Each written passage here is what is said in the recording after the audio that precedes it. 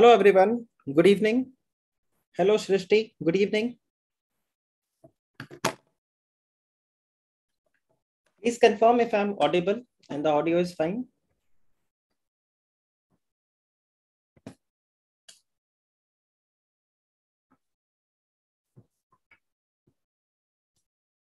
Please confirm if my audio is fine and I'm audible to all of you.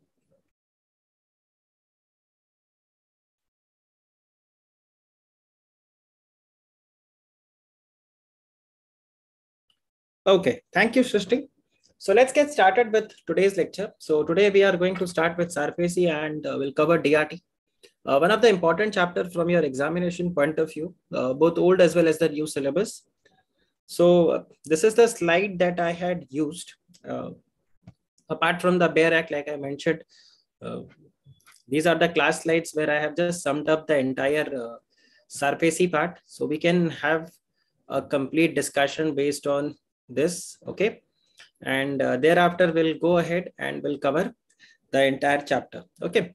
So let's get started and uh, again uh, it's one of the recovery tool right? This is a law which is there for the recovery tool. It is not a uh, law like insolvency where it provides uh, resolution. It's for the recovery. So if you see this is the bank and the financial institution and this is the SARFAESI this is SARFAESI okay this is SARFAESI and this is the borrower who has defaulted. And here when I say default, again the definition changes. There is no threshold of the default. All it says that it has to be an NPA. So if it's an NPA, uh, this SARFAESI Act can get triggered and you can, the banks and the financial institutions, basically they can invoke SARFAESI, right? Now, uh, just see, this came, this act came as an ordinance. So we know when the parliament is not in function, you have an ordinance and passed and thereafter when the parliament re- resumes or when the parliament is there uh, at that point of time you can have a discussion and get that particular law passed. So SARFAESI act was again uh, passed like an ordinance right? So when this act was passed that time parliament was not in operation. But later on uh, it was approved by both the houses of the parliament and it became a act. So this law the objective of this law was so this is the objective of the law. The objective of the law was uh, to provide secured creditors a tool okay? And when i say secured creditors it just means the banks and the financial institution. So it provides the secured creditors a tool to recover their dues okay? They can recover their dues without the intervention of the court. Now if you remember we discussed about the debt recovery tribunal the banks and the recovery of the debt and the financial institute recovery of debt due to the banks in the financial institution act. I'll just open the blank slide also so that can again uh, give me some. Okay so the ppirp slide only. I am just i just write whatever i have to explain for uh, here also. Okay so because until i scribble something few things i i don't feel comfortable teaching. So just see that um, if you see, the, uh, you had the recovery of debt due to the Banks and Financial Institution Act. Okay. Under this act, uh, the debt recovery tribunals were set up. Now, the debt recovery tribunals were the dedicated tribunal. If you remember, we discussed this on the first day when we had started with the insolvency part. So this was the dedicated tribunal, okay, which provided for the recovery for the banks and the financial institutions, right? Later on, uh, we realized that DRT wasn't doing good.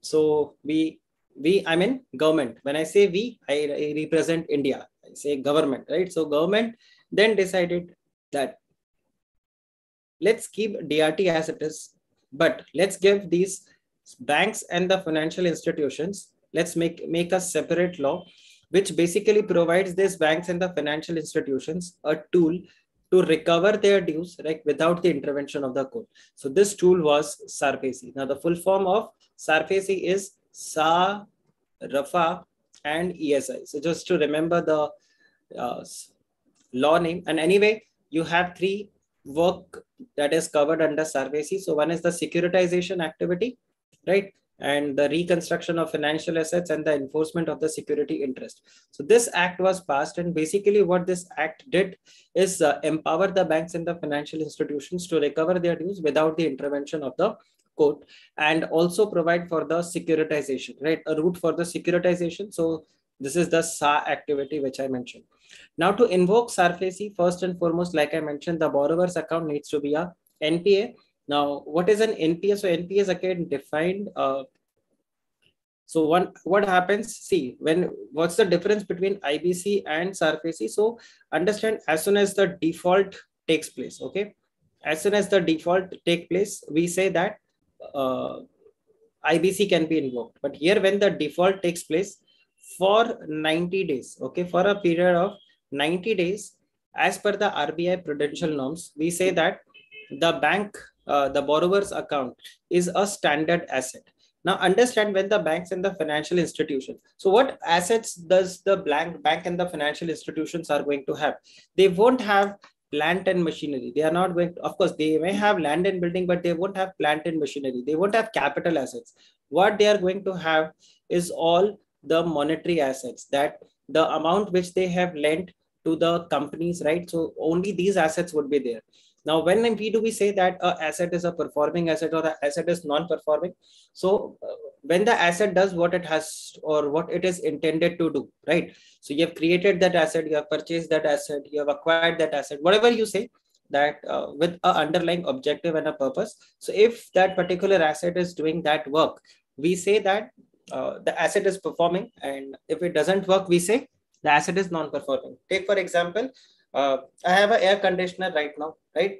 So the purpose of this air conditioner is to uh, keep the temperature uh, comparatively lower than what it is outside or keep the room hum- free of humidity, right? So this is the function of this air conditioner. Some of you right now uh, are watching this video from north. So you must be having a heater right now, okay? So what's the objective or what's the purpose of that heater is to keep the room warm. Now, if the AC keeps the room cool, if the heater keeps the room warm, we say the asset is performing. If it doesn't, then we say the asset is not performing, right? So same thing when these monetary assets. So what's the objective of these monetary assets? We say that uh, bank have given these monetary assets or bank have given these loan and created these monetary assets for a regular stream of income. And this can be by way of interest or EMIs, right? Now, till the time bank is getting, the bank and the financial institution, they are getting the steady flow of uh, interest and the EMIs. We say the asset is performing. Now, once this does stops, we say the asset is not performing, right? But the moment it stops, we don't say the asset is not performing. So for a period of 90 days, we say that this is still a standard asset. So till the time the interest payments are being received, we say it's a standard asset and even uh, we give a buffer time of 90 days that quite possible there can be an accidental default or whatsoever. So this I'm just making it up just for the understanding. We can say that for a period of 90 days, it is still considered as an asset, uh, standard asset. Don't say it's a non-performing asset. For 90 days, even if there is a default, just wait for 90 days and check. After 90 days time period, we put that asset into the category of non-performing asset. So here it is a performing asset. Okay. Till the time it's a standard asset. Before default, standard asset. It's a performing asset. After default, it's a standard asset, but it's a performing asset, but that's only up to 90 days. Once this 90 days period gets over, after that, we say this is what this is a substandard asset. So from here on, so from here on till next one year, okay? From here on till next one year, we say that this is what this is a substandard asset. It's an substandard asset. And thereafter we say it's a loss asset. And finally, uh, we say doubtful. So here are, then it is called as the doubtful asset. And then it's called as the loss asset. So it is also possible that you may call it as a loss asset right after this 90 days when you believe that this amount will not be recoverable. So I hope the concept of non-performing asset is clear. By the way, uh, I still remember in my CA final exam, SARFAESI was part of the CA final syllabus. So at that point of time, we had this four mark question from SARFAESI. What is a non-performing asset? So I was actually very surprised when I got this question. I'm talking about CA final, not CS final.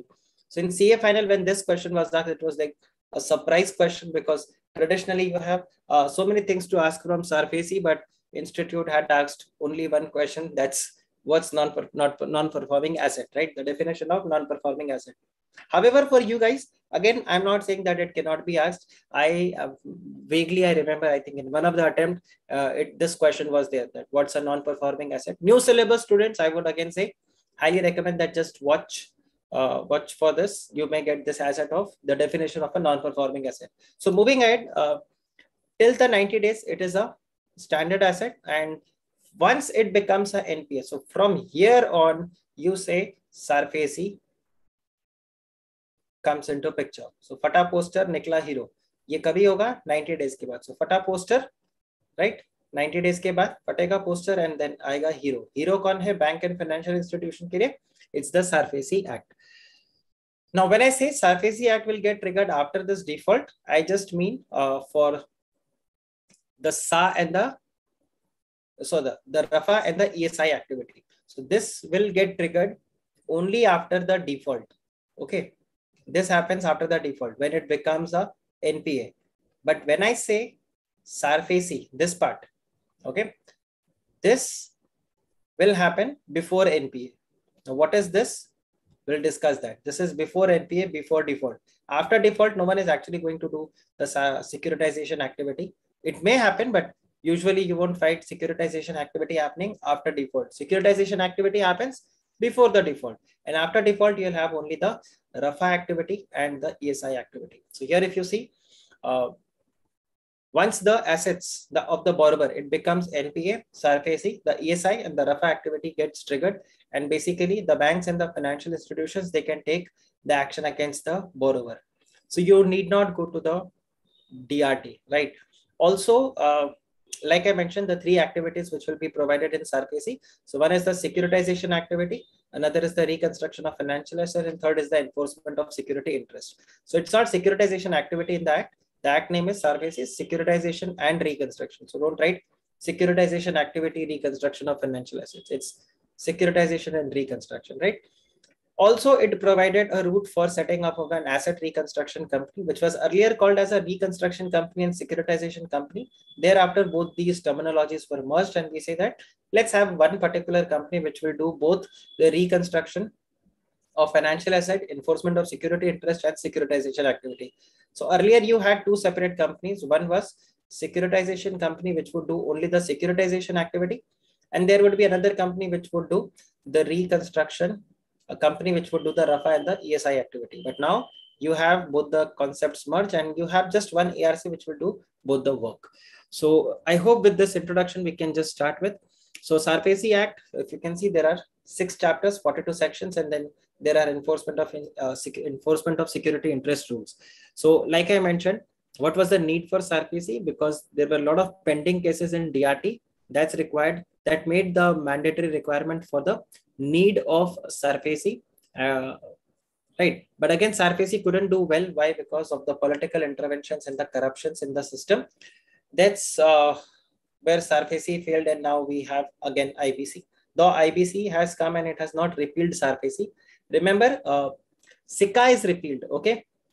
After IBC, SICA is repealed. But SARFAESI is still there. And also understand the jurisdiction or the objective of the two laws. SARFAESI, the law, the objective is that it's a recovery tool. For insolvency, bankruptcy code, it's a resolution tool. It's not a recovery tool. Okay. So what is going to happen? Just see.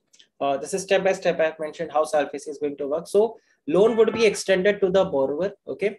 And then the borrower is uh, going to default. And then the account of the borrower would become NPA. So once the borrower's account become NPA, that's where the banks and the financial institutions, they get the power to take action under section 13 and uh, what is under section 13 that's the recovery tool which is there enforcement of security interest right? So section 13 and that's where you do the recovery without the intervention of the court. So SARFAESI Act, uh, first is the securitization activity where the banks and the financial institutions, they transfer the account of the borrower to this asset reconstruction company and the asset reconstruction company on the basis of this uh, account which is being transferred to the asset reconstruction company and the securities underlying securities of this borrower Based on this, uh, the security receipts would be issued to the qualified buyer. So it's similar to your ADR GDR, right? Like how it happens in case of ADR GDR, you have the underlying uh, shares which are there in the uh, custody of the domestic custodian bank. On the basis of that, overseas depository issue security receipts. So here also it's the same thing. The borrower is has pledged, okay, has created security interest over its asset uh, because the bank has given the loan. So to secure that loan, the security interest has been created and that's the role of the uh, securitization activity that on the basis of that security interest, the asset reconstruction company is, is going to issue the security receipts to the qualified buyers. Also, the second activity, which is the reconstruction of the financial assets, that's RAFA activity. Here, basically, uh, multiple recourse have been given to the borrower, uh, to the creditor, right? Where uh, there are provisions like the extension of loan or conversion of the loan and then waive off part of the loan. So basically understand what's the difference between the RAFA activity and the ESI activity. So while you are going to study the RAFA activity under section 9, it also includes the ESI activity, right? But the ESI activity uh, is like basically, it, it is like this. If I say the reconstruction of financial assets, okay? So there are multiple measures which are there, which you can do under reconstruction of financial assets, okay? One of the measure is enforcement of security interest. Sorry, one of the measure is enforcement of security interest. Now the difference, but another difference between the RAFA and the ESI activity is that the reconstruction of financial asset can be done by both secured as well as an unsecured creditor. Okay. But if you have to enforce the security interest, then you have to be a secured creditor. It is not available to an unsecured creditor. It is available only to the secured creditor. Similarly, if you see the securitization activity, okay, the securitization activity can only be done by the secured creditor and not by the unsecured creditor. So is SARFAESI only for the secured creditor? Answer is no. SARFAESI has got three activities, SA activity, RAFA activity, and the ESI activity, where the RAFA activity is a recourse which is available for both secured as well as an unsecured creditor. But the ESI and the securitization activity can be done only by the secured creditors and not by the unsecured creditors. Okay. So if you get a question based on this, that secured uh, only uh, provides protection to the secured creditor or it covers only the secured creditor, you can very well write this in the answer that no, it, it provides recourse for both secured as well as unsecured creditor. The uh, for secured creditor, there are multiple recourses or multiple options that are available here. However, if it's an unsecured creditor, you have only one activity that you can do. That is the reconstruction of financial asset. Okay. Uh, so that's what is being given here. So you need not uh, be a secured creditor to give extension for the loan. You need not be a secured creditor to convert the loan. You cannot need not be a secured creditor to waive off and settle the loan. Okay. But yes, to enforce the security interest or to do the securitization activity, right? To issue security receipts. So security receipts would be issued when you are secured. If you are unsecured, you cannot issue security receipts. So that's what is being given here. And enforcement of security interest also talks about the same thing that security interest uh, has to be, uh, you know, enforcement of security interest comes from this particular point that you are a secured creditor and you have created and why you're secured? Because you have created security interest. You have created so simple language from a company law point of view you have created a charge okay? You have you have created a charge on the assets of the borrower. So that's how you are secured. So you can invoke that charge okay? So that's where the security interest comes into picture and uh, enforce you're enforcing that security interest where you say that you can take control over the assets of the borrower you can take uh, take over the management of the borrower. So multiple uh, activities that you can do under the ESI activity. Technically, there are four activities which you can do under the ESI activity.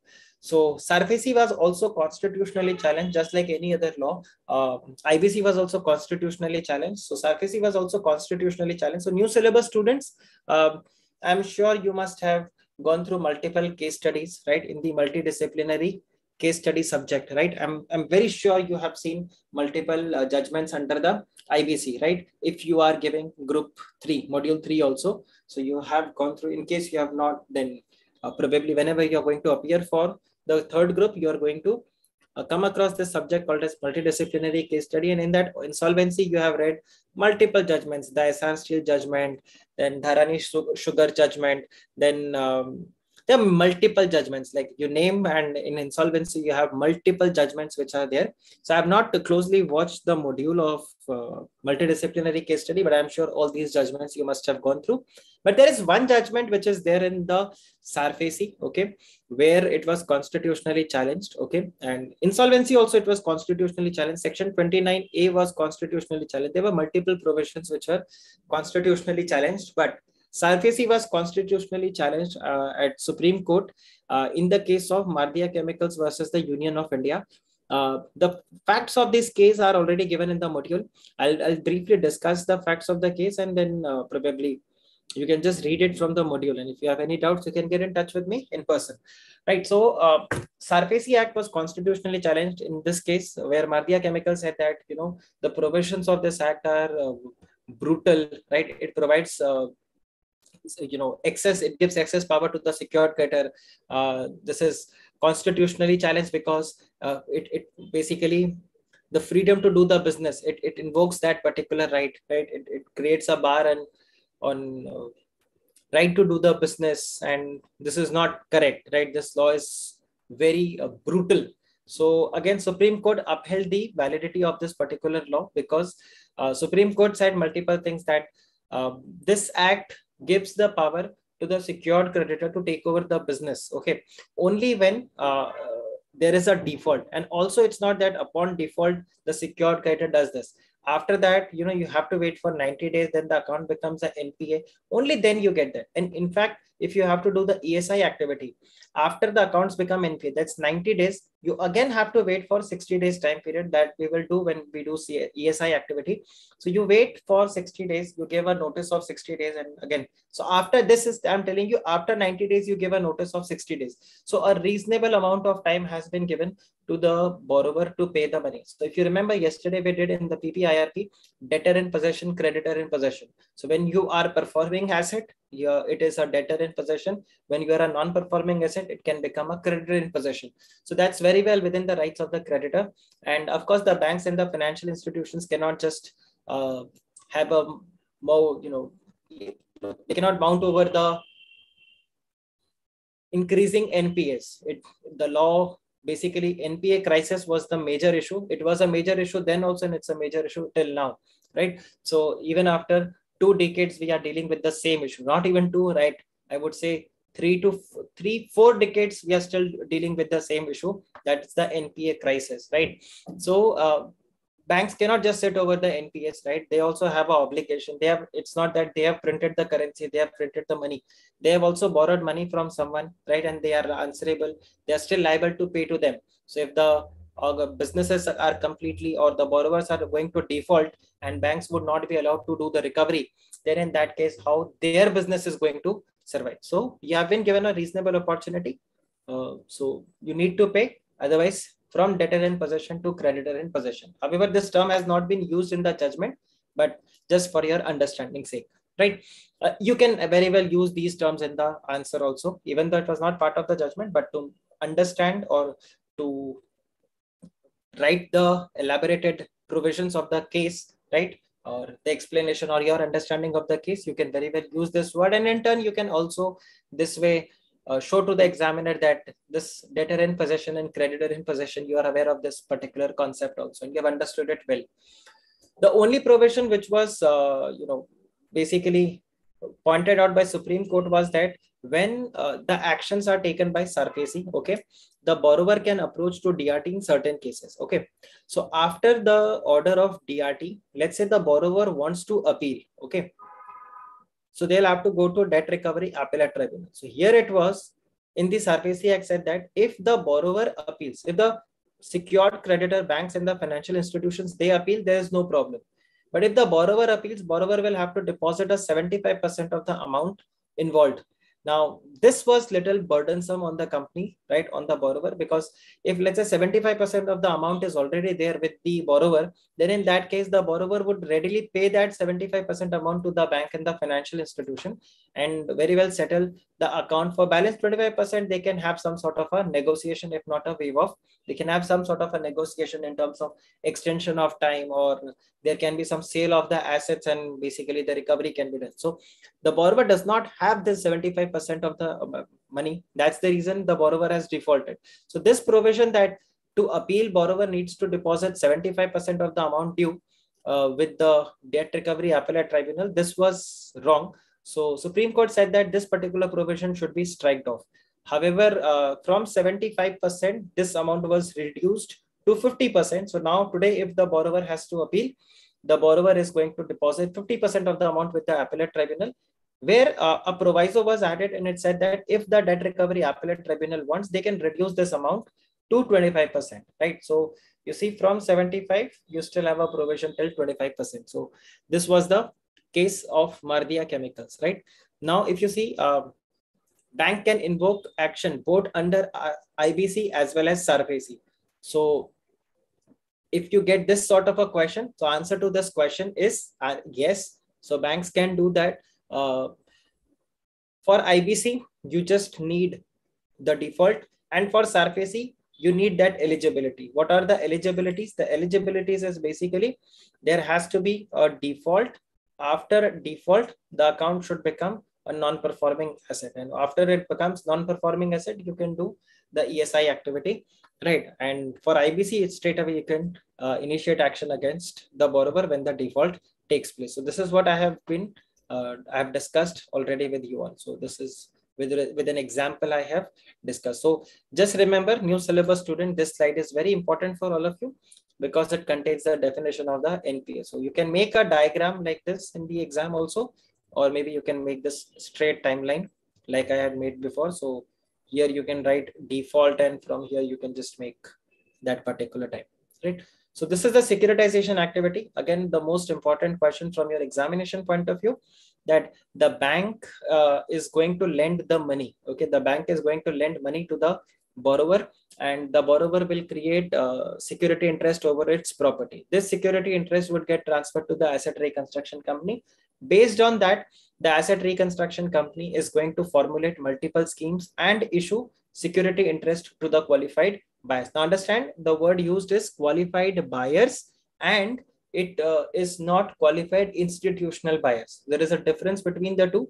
So avoid writing the word institutional buyers. It's qualified buyers. Now Srishti has asked a question that banks would prefer IBC. So, uh, the answer to this question would be it would depend what is the intention of the bank. Okay, one and second, it would uh, totally depend on what is the amount of the borrowing. So, if bank believes because IBC is a lengthy process, okay, it's a lengthy process. Plus, it's a uh, you know I would say.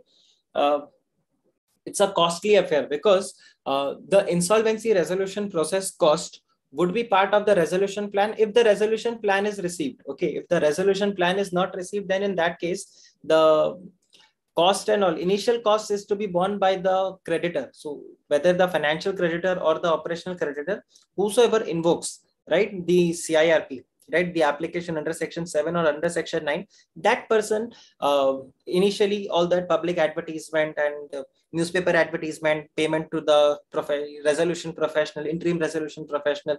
So all those expenses are to be borne by the uh, applicant of uh, in ibc so if uh, the borrower believes if the banks and the financial institution believe that why to go to this ibc process and do all these uh, lengthy thing the account has already become an npa you know this uh, 60 day notice just give that 60 days notice and ask them that pay the money. Once you pay the money and you can have this.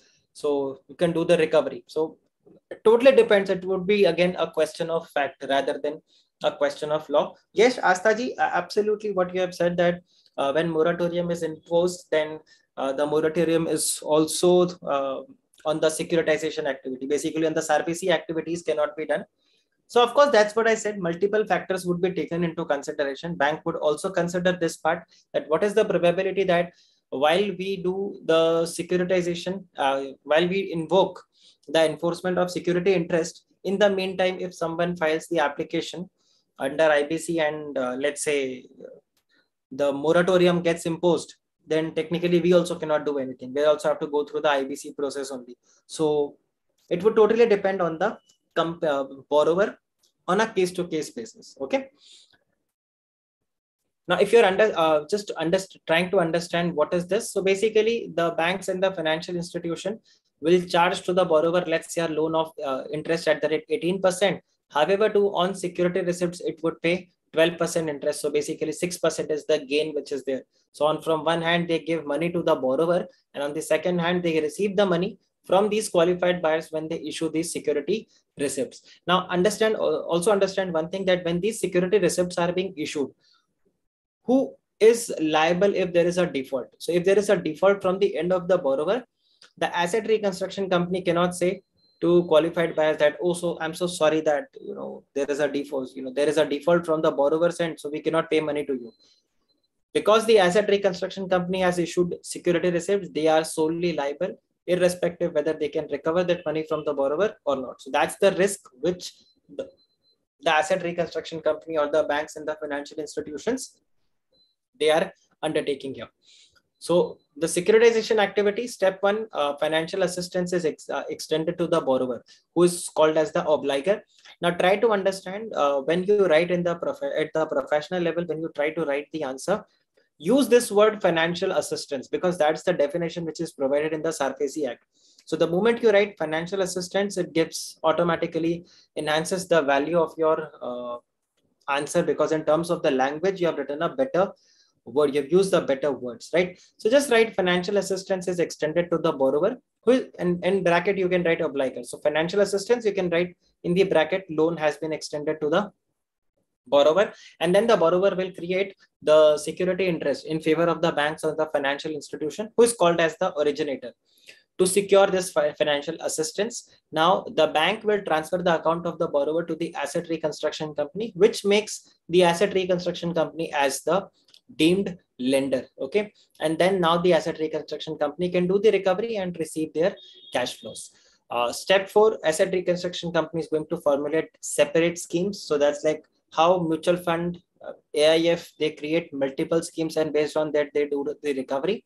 So the asset reconstruction company is also going to formulate separate schemes and then based on that they are going to issue the security receipts. They are going to issue these security receipts to the qualified buyers and the amount which is received from the issue of security receipts issue of the security receipts to the qualified buyer would be given to the bank and then the proceeds received from the borrower would be used by the ARC to pay the dues to the qualified buyer, which includes both the principal as well as the interest repayment, right? And in this ARC, in this entire process, they make money via commission, the gap between the interest, what it receives and what it pays through the securitization process. So that's the return for the ARC. So this is again, I've given that there's the same example there, right? So this is a simpler diagram with step one, multiple steps. So what you can do, you can uh, just draw this, this sort of a diagram, right? And you can write S1, S2, S3, S4, draw this diagram with pen, not with pencil.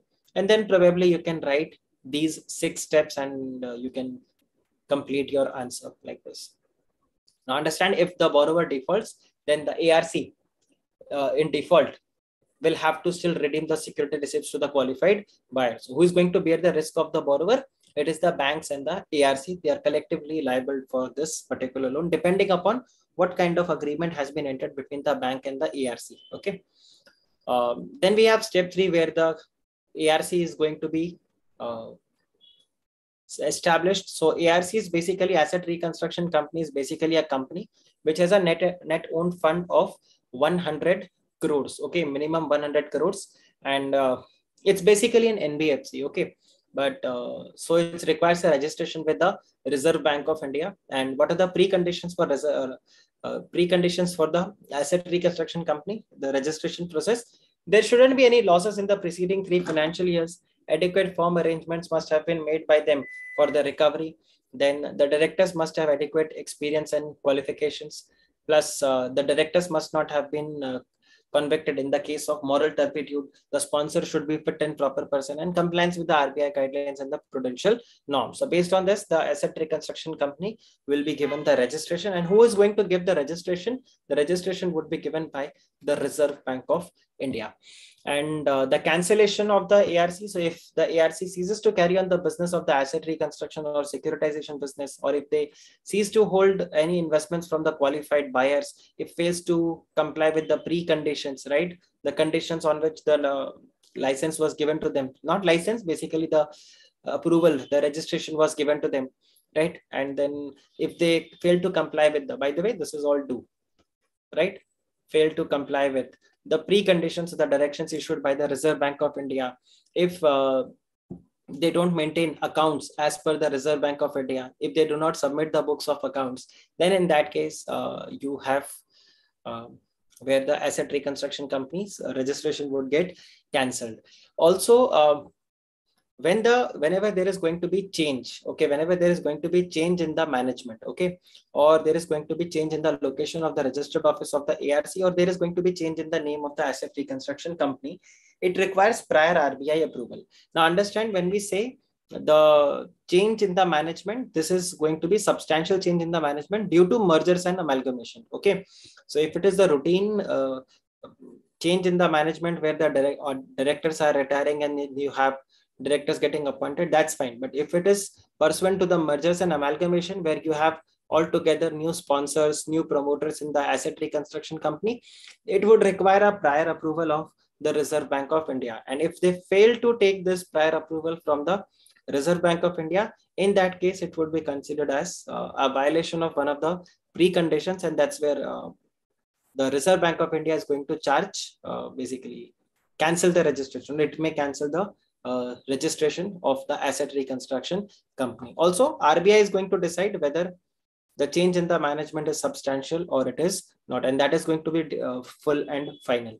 Now, if let's say your registration is being cancelled, then the only way is you can uh, approach to the central government for the recovery. Basically, you can challenge it. Otherwise, there is no way you can challenge the order of the Reserve Bank of India.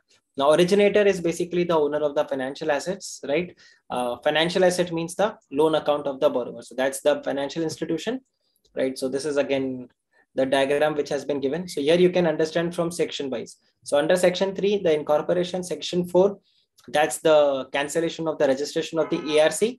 And then you have section five where an agreement is being entered between uh, the banks and the financial institutions and the asset reconstruction company. Under section six, uh, you have an agreement between the bank and the financial institutions uh, and the borrower.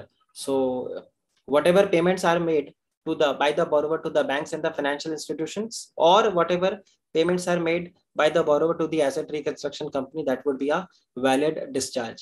Then under section seven, the asset reconstruction company gets the power to issue the qualified, uh, you know, security receipts to the qualified buyers. That's the securitization activity, which is under, done under section seven.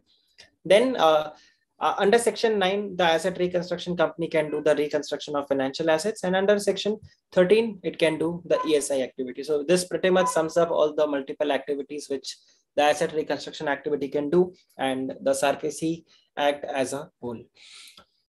Then uh, like i mentioned uh, okay so borrower account so detailed of the esi activity. So the borrower defaults then again the borrower's accounts become npa now, since the borrower's account has become NPA, the secured creditor, SC is not Supreme Court here, SC is the secured creditor. Okay. It's the secured creditor. The secured creditor is going to issue a notice to the borrower providing for two things. One is that uh, it demands the payment within a period of 60 days so that 90 days after that 60 days and if uh, the payment is not made on the 60 within these 60 days what action the secured creditor is going to take, proposed action that the secured creditor is going to take against the borrower, this has to be provided in the notice. Thereafter, the borrower is going to make representation to the secured creditor that, um, you know, this uh, activity, the action should not be taken against the secured creditor or you know the action should not be taken by the secured creditor because it's a genuine issue and it's not a willful default which we are doing so it, it is basically whatever representations the borrower wants to make in the in its defense. They can make their representations to the secured creditor and thereafter it is totally up to the secured creditor to decide whether or not to accept those representations or reject. So if they accept those representations then in that case there will be no esi activity because you have basically come to an understanding with the there is there is an understanding now between the secured creditor and the borrower. But if the secured creditor rejects then in that case uh, reply along with the reasons within 15 days and then borrowers cannot even appeal unless any action is taken right? The borrowers will not be able to take any action right? Uh, you know, unless the appeal is made uh, basically to you know uh, at the DRTs, right? So that's what. And also the borrower cannot compel uh, to the secured creditor that you cannot take any action. 61st day, the secured creditor, as per the Mardia Chemicals and Union of India judgment, they are very well within their rights to take any sort of an action which they want and provided under section 13 and also they've informed that in the notice. Now, if the borrower fails to pay the money within 60 days, 61st day, it's the secured creditor, right?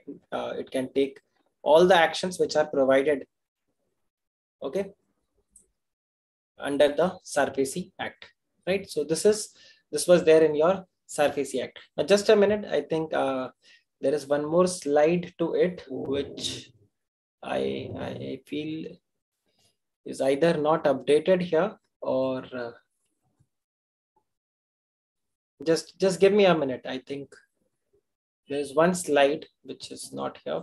And I'll just quickly open that particular slide because that has a detailed one. Just give me a minute.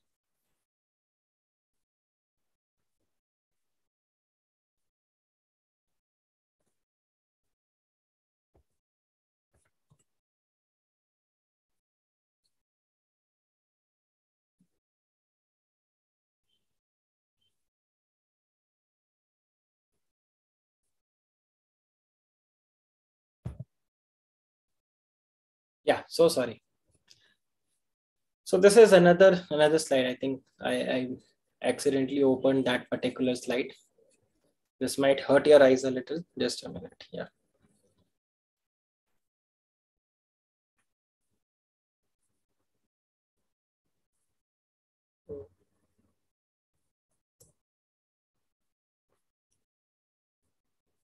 Okay so yeah so sorry. So let's let's come back to section number seven. So section seven it says that the security receipts which will be issued by the asset reconstruction company. So the asset reconstruction company okay? The asset reconstruction company is going to issue okay? It is going to issue the security receipts to the qualified buyers uh, and this would be done via various schemes. So various schemes which means you'll have uh, different accounts for each such scheme so that you realize the financial assets and each financial asset realization is applied to that particular scheme okay? And it is used towards the redemption. So let's say there are five borrowers and their account looks similar. So it has been put in one scheme. So this is let's say s1 then let's say there are uh, three another similar sort of the borrowers. Those tenures are all are same. So that's the second scheme. So, so when the amount will be received from these five borrowers it will be realized for this particular scheme and there will be no merging of the money right? The pretty much concept of uh, the mutual funds and the aifs right? So you don't merge multiple schemes here.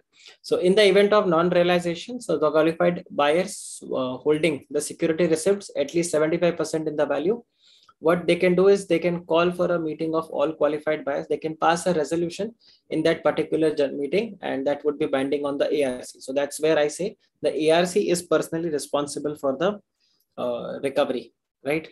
And here, if you see under section nine, so financial assets. So what what act, what actions you know ARC can take under section nine? So it can take over the management and the business of the borrower right it can also sell or lease the part or whole part of the business it can reschedule the business okay it can also enforce the security interest so esi activity like i mentioned it is part of the rafa activity only settlement of the dues with the borrower, right? It can take possession of the secured assets, convert any part of debt into the shares. So you have the CDR mechanism which are given here. So not all are for unsecured. Some of them can be done by the unsecured creditors. Like this can be done by unsecured creditors. Uh, this can be done by an unsecured creditor. You can reschedule. This can be done by unsecured creditor. You need not be a secured creditor to do these activities. So like I mentioned, the RAFA activity is for both the secured as well as an unsecured creditor. Um, under section 10, it says that uh, there are three functions of the asset reconstruction company. It acts like a manager, agent, manager, and receiver of the funds or the money from the obligor, right? So the, from the borrower, it can do the recovery. Then uh, section 13. So here from here on, section 13 gets started. So enforcement of security interest, you have defaulted. Now the asset reconstruction company, right, is going to uh, invoke the ESI activity. So what it will do uh, in this, it can take uh, possession of the assets of the borrower. Okay. It can take the possession of the secured assets. Okay. Of the borrower. Then the next multiple options which are there, it can also take over the management of the business of the borrower. It can also appoint a manager to manage the assets of the secured creditor, right? Uh, sorry, the borrowers, right? And then it can also require any person who has uh, acquired any of the secured assets from the borrower to whom the money is due. So let's say the secured asset was sold to someone, or let's say it has been sold to someone and the amount is still to be paid. So what the bank can do is basically recover the money from that person to whom it has been sold. And whatever the amount is paid to the secured creditor, that would be, uh, you know, uh, a valid discharge for the loan, provided the entire amount gets secured. So if the entire amount doesn't get secured, then in that case, uh, they'll go to DRT. So, okay, I'll also write one thing, uh, what uh, the banks and the financial institution are going to do. So the banks oblique the financial institutions, okay? The bank oblique the financial institutions, they will go, so they will do the ESI activity, okay? From ESI activity, they'll have to check whether 100% recovery is done or not. So if 100% recovery is done, okay. If 100% recovery is done, very good.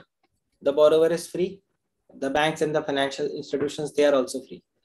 If 100% recovery is not done, then the next recourse is the banks and the financial institution is going to approach the debt recovery tribunal for the balance recovery. So now do you understand how uh, SARFAESI and DRT are connected and that's the reason both of them constitute as one chapter in your module, at least in new syllabus. So this is the uh, scheme which is there, right? I'm sorry I go little haphazard when I teach, right? Especially when it comes to the revision session, not especially only in the revision session, it goes little haphazard. That's because uh, the moment I realize something is important or it is relevant for your exam or it can be asked. So that's the reason I just pointed out. So that's what the LDR session is all about. But I make try to make sure that everything is being uh, covered here, okay, in the exam. Okay, uh, whatever can be asked in the exam. So it is there. So uh, when you enforce the security interest, right? So any security interest created can be enforced, okay, without the intervention of the court, tribunal, or the creditors.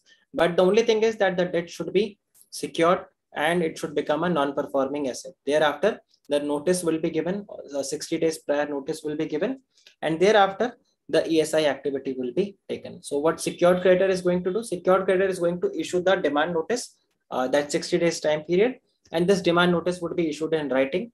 And it will be issued by the secured creditor or the authorized officer. And it will be delivered to the secure to the borrower uh, either by hand delivery or by registered post acknowledgement due courier email. So basically there needs to be a trace right? Because uh, let's say 61st day if the bank or the financial institution secured creditor is invoking ESI activity, the borrower very well can go to DRT and say that, see, I haven't received those 60 days notice. Hence, the banks should be you know not allowed. So an injunction order should be passed against the secured creditor that they should not take any action. They should first issue the demand notice to me. So that's the reason the law clearly provides that uh, there should be some sort of an evidence that this demand notice was being issued and that's the reason it has been given that there should be a hand delivery. So hand delivery you won't click a picture okay? When you do a hand delivery you won't click a picture with the borrower that see i had given the notice. Basically you get a receiving okay? When you do so you take two copies okay? One copy is to be kept with the borrower and the second copy they give a receiving okay? And uh, registered post with acknowledgement due registered post. So that's again you have a evidence.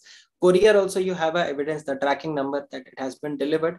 And email again you have a so email id whether it has been read by the borrower or not. So it is possible that the email goes to the spam folder. Okay. But again 61st day the borrower cannot say that see i have never received an email. So the email is still sent because the bank would say hey this is my outbox. Okay. Check my sent item the email has been sent to you. So you ignored it you accidentally missed it or it went to spam folder. That's not my problem. I am very well within my rights to take the action because i have sent the uh, demand notice via email. Okay.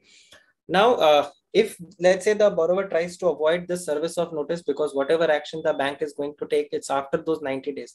So if anyway uh, the borrower tries to uh, avoid the notice in that case what is going to happen? In that case the secured creditor can affix the copy of the demand notice outside the house or the building of the secured creditor where they do the business or let's say they reside ordinarily they reside. And they will also publish the content of the demand notice in two leading newspapers plus one vernacular language having sufficient circulation in the locality. So i would say in the month of uh, august august yes in the month of august i did one uh, this publishing of the demand notice for one of the client okay? And we published it in two newspapers. One was economic times and uh, there was one gujarati newspaper and then was one marathi newspaper. So marathi newspaper because the company uh, gujarati newspaper because it was there in the the company was from gujarat and marathi newspaper because it was listed at bombay stock exchange and economic times. So we had given it uh, in three newspapers, right? And which should have a sufficient circulation in that particular locality, right? So the secured creditor, right? They will give notice, and this notice, if the borrower wants to make any objection, they can do that. And all objections, if they want to raise, they can do that within 15 days. After 15 days, they cannot raise any objections, and and they can also make their representations. Okay, the secured creditor may accept or may reject whatever is uh, they'll communicate it to that. And what will be the procedure for the secured creditor after the notice has been issued? So the amount will be mentioned in the demand notice. If it still remains unpaid, then the secured creditor will authorize one of its officers to go and realize the amount by adopting any of the measures which are given in section 13, subsection 4. Now the secured asset can be a movable property or it can be an immovable property and you can do the recovery of that particular asset. So for a movable property, right, uh, the authorized officer will take custody of that particular movable property, that asset. And if let's say that asset is uh, subject to natural decay or speedy recovery, right, or let's say the expenses of holding that particular asset is going to be more than its value, then the authorized officer will sell it at once. It will not wait if it's a movable property then in that case uh, it will fix a reserve price for that asset and then those bidding and all would be done for and that's how the recovery would be made. Now how the sale can be done? It can be done by obtaining quotations or inviting tenders hold public auctions or you can do a private treaty where privately you can go and sell. And for this you will have to give a public notice in these three newspapers right? And the authorized officer will give notice to the borrower 30 days that we are going to sell your movable asset except it is if it's a asset which is perishable in nature. Otherwise it will be just sold there and then. Uh, then if let's say the sale is successful then in that case the payments will be made. And if let's say the payment is enough so uh, then it's fine. If not then again another property would be sold okay? And let's say if the payment of the sale price is not received the subsequent buyer also defaulted. So A was the original borrower whose assets movable property was to be sold. It was sold to B in the auction. Okay. And let's say B also failed to pay. Then in that case, the property would again go to the auction and you will resell that amount. And if it is the recovery amount is being received from B, the amount, whatever was there is received from B. In that case, the authorized officer will issue a certificate and that will be the prima facie evidence that the borrower, the purchaser of that particular asset has a valid title over that particular asset. And if let's say the sale is unsuccessful, then again after 15 days, uh, they'll try to sell it again. If it's an immovable property, then again the possession and notice will be given and it will be published in the newspaper and the authorized officer is required to take care of the uh, property as a owner of the ordinary prudence would do and before actually effecting the sale the authorized officer will obtain the valuation of the property, fix a reserve price, and then again do the same thing. Submit, uh, you know, uh, send server notice to the borrower for 30 days, and then let's say uh, try to recover that money. Now, mode of sale is again going to be same, right? Sale price will be, uh, you know, to whom it would be sold. Whosoever is bidded for the highest price, but it should not be less than the reserve price. So for immovable property, 25% of the amount is to be paid on the same day or the next working day, and the balance is to be paid within those 15 days, which can be again extended to three months. If let's say uh, the amount, the balance amount is paid within 15 days, next 15 days, it's fine. If not, then whatever this 25% has been paid by the purchaser, this will get forfeited and that property would be resold again. So this is of course, if there is a default. Now again, remember, this is the default by the buyer okay not by the borrower this is the default by the buyer okay thereafter uh, this is fine. So if you're doing a joint financing okay then in case of joint financing you need the consent of 60% in value. So i think uh, i've written here 66% this is 60% in value. Just one minute. I, I can confirm it. Just one minute, okay?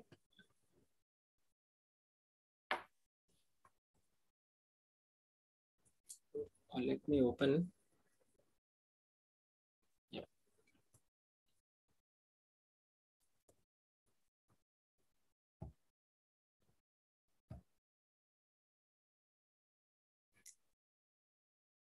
One hundred seventy.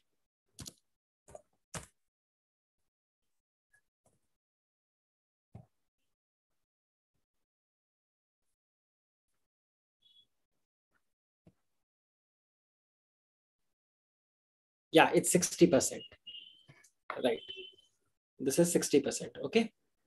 So it's written 66% there. It was accidentally written 66% there. It's 60% okay? I'll just correct it here. It is basically you get you need the approval from okay just a minute.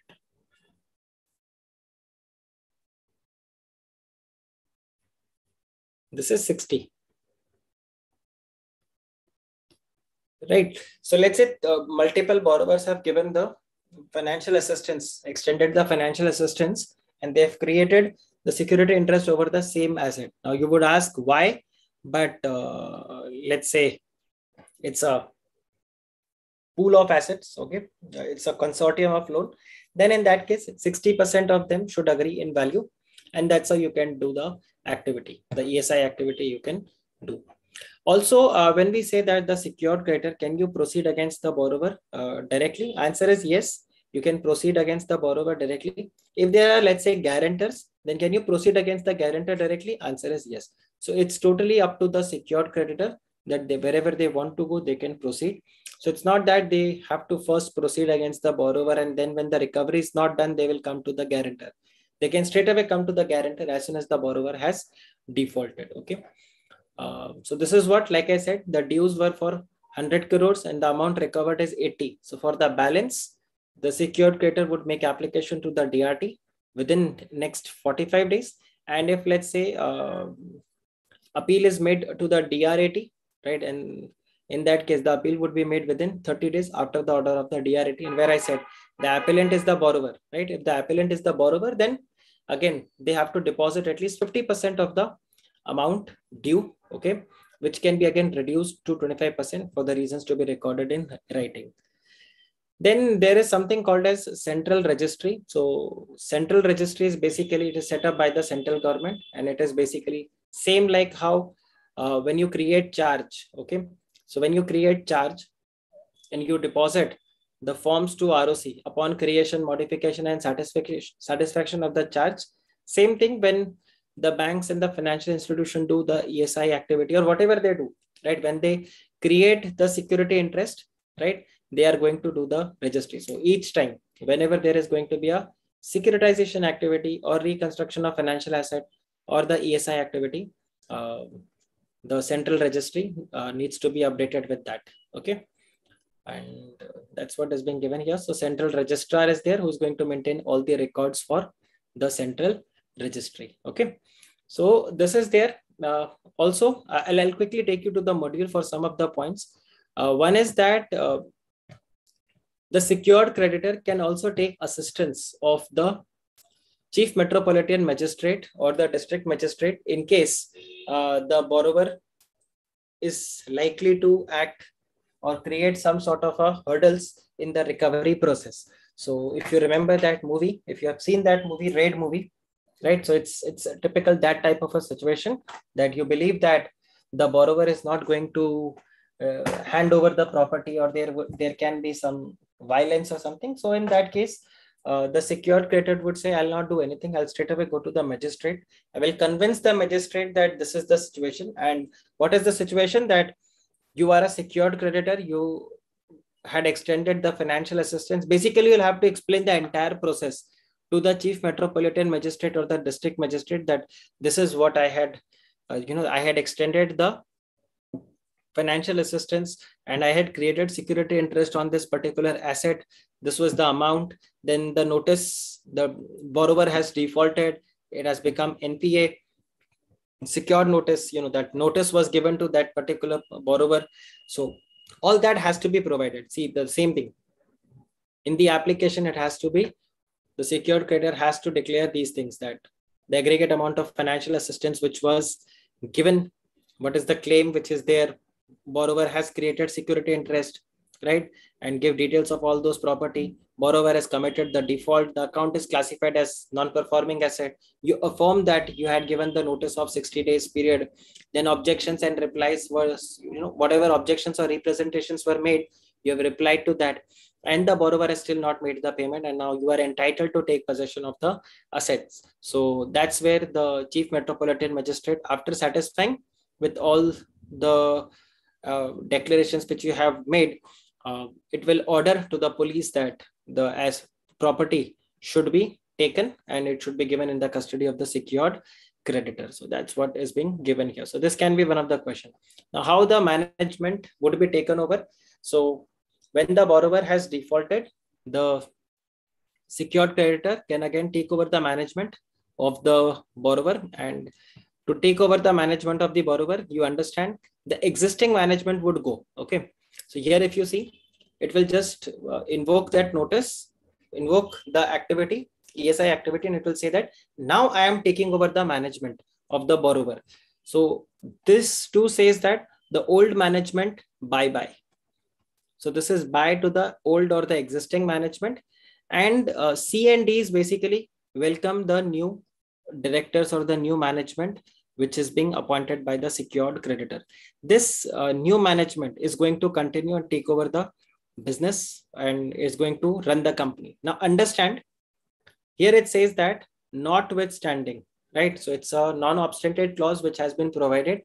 So the management of the the new management of the borrower, okay, the new management of the borrower, the board of directors. Now understand irrespective whatever is written in the act memorandum or articles of association the borrower okay will not be lawful. Like the shareholders cannot pass any resolution and nominate anyone to be appointed as the director of the company. No resolution will have any effect until the borrower agrees for that.